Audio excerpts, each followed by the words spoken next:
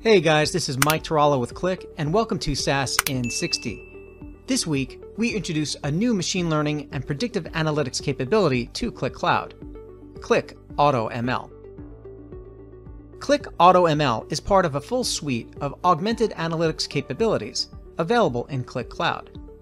It recognizes patterns and drivers in historical data to create machine learning models that can predict future outcomes, using a simple no-code approach for business analysts and analytics teams.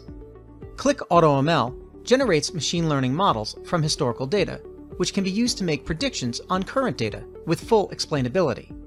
And you can further explore these predictive analytics and get real-time calculations in Qlik Sense apps by making interactive selections and testing what-if scenarios with our advanced analytics capabilities. Machine learning and predictive analysis go beyond traditional data analytics, and it is important to remember that Qlik AutoML should be used to solve the right types of business problems and requires specific ingredients for architecting a machine learning ready data set.